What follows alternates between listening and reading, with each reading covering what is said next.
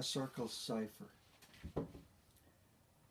A dread is all there is to look for, all fears found, all found fearful, the undiscovered country touched for moments of eternity not there, bore between fingers.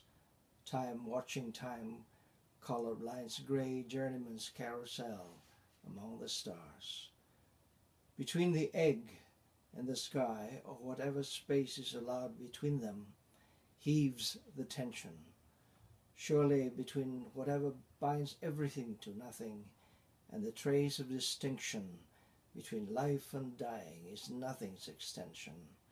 And still the end of this space is his beginning to know where ends he whose touch is the question.